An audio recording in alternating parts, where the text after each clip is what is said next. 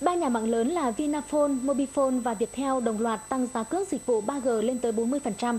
Việc tăng giá cước 3G lần này đã làm ảnh hưởng đến nhiều khách hàng sử dụng dịch vụ này. Đối với các doanh nghiệp vận tải thì việc tăng giá 3G đang gây nhiều khó khăn trong hoạt động bởi các thiết bị giám sát hành trình vừa lắp đặt trên các phương tiện đều phải sử dụng 3G để truyền số liệu. Với việc tăng giá cước này đang gây nhiều khó khăn cho các doanh nghiệp vận tải trên địa bàn, trong chuyên mục Mỗi tuần một vấn đề tuần này, chúng tôi sẽ đề cập đến những khó khăn của các doanh nghiệp vận tải trên địa bàn từ khi tăng giá cước 3G. Hơn nửa tháng nay, kể từ khi ba nhà mạng lớn là Vinaphone, Mobilephone và Viettel đồng loạt tăng giá cước dịch vụ 3G lên tới 40%, các doanh nghiệp vận tải trên địa bàn tỉnh vô cùng bức xúc. Phần lớn các doanh nghiệp vừa phải thực hiện nghiêm túc việc lắp đặt thiết bị giám sát hành trình, đưa vào khai thác sử dụng chưa ổn định mà đã tăng giá cước thì đẩy doanh nghiệp vận tải đã khó khăn, càng khó khăn hơn. Thiết bị giám sát hành trình đã có phần đảm bảo an toàn giao thông. Những thông số trong suốt hành trình của phương tiện cũng như lái xe đều được truyền về trung tâm thông qua sóng 3G. Tuy nhiên với việc tăng giá cước 3G hiện nay, các doanh nghiệp vận tải đang đứng trước nguy cơ phải trả thêm chi phí lớn cho việc sử dụng thiết bị này. Hai hợp tác xã vận tải hành khách là Hợp tác xã Vận tải Hành khách Nghệ An và Hợp tác xã Vận tải Bình Minh có 240 phương tiện, 100% đều lắp đặt thiết bị giám sát hành trình. Mỗi tháng theo hợp đồng, mỗi phương tiện đều phải trích trên 100.000 đồng cho việc sử dụng dịch vụ 3G để truyền số liệu. Giờ tăng giá cước thì chi phí vận tải lại phải tăng theo.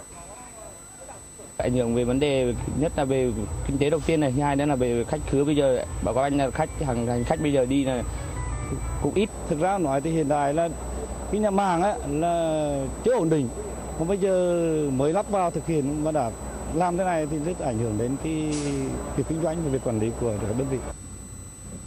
Không riêng gì doanh nghiệp vận tải hành khách, mà các hãng taxi cũng ảnh hưởng không nhỏ từ lần tăng giá cước này. Hãng taxi Vạn Xuân có 250 đầu xe. Tất cả đều thực hiện nghiêm túc việc lắp đặt thiết bị giám sát hành trình. Chi phí lắp đặt thiết bị cho mỗi xe có giá từ 7 đến 10 triệu đồng. Đối với thiết bị giám sát hành trình, thực sự hữu ích cho doanh nghiệp khi đưa vào khai thác, đảm bảo tốt việc quản lý phương tiện cũng như giải quyết những thắc mắc của khách hàng. Mỗi tháng đơn vị này phải bỏ ra số tiền không nhỏ cho dịch vụ 3G khi sử dụng thiết bị giám sát hành trình. Với việc tăng giá cước 3G lần này đang gây tác động lớn đến hoạt động của doanh nghiệp. Cái cước đối với taxi chúng tôi không thể nào là giảm hơn được nữa. Ờ, chúng ta phải, nếu như mà tăng như thế, chúng tôi buộc phải tăng, lại ảnh hưởng đến người tiêu dùng, cuối cùng là đổ đầu người tiêu dùng. Không, người không sử dụng 3G vẫn bị thiệt hại là bởi vì các cái dịch vụ khác, nó ăn theo thì nó sẽ tăng lên.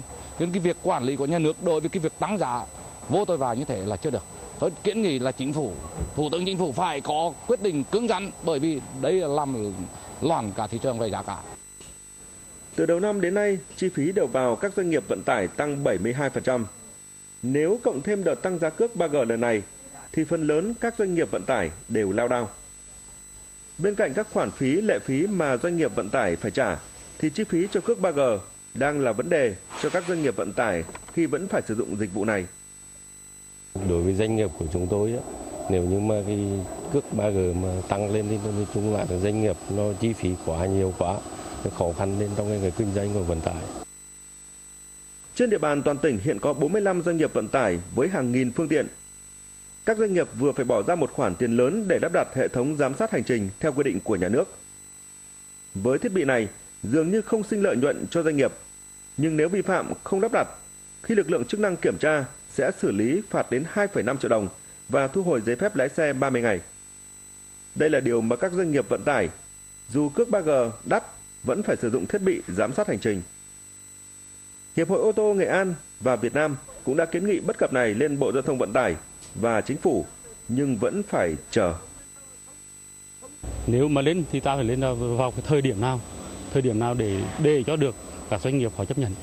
Cho còn thời, thời điểm bây giờ thì năm vừa rồi anh có nhiều cái khó khăn.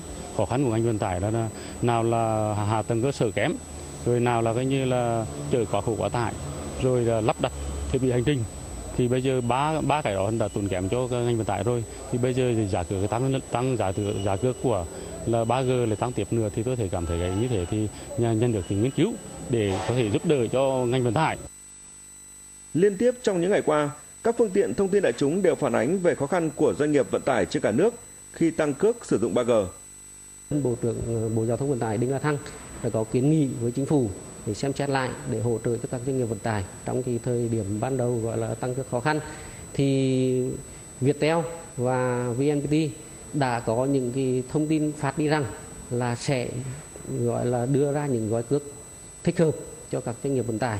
Và cho đến giờ phút hiện nay thì chúng tôi cũng mới nhận được thông tin là sẽ có gọi là là gói cước thích hợp. Nhưng còn thời điểm cụ thể thì ờ, khi nào có thì chúng tôi lập tức gọi là thông báo cho trên các cái thông tin, phương tiện thông tin đại chúng.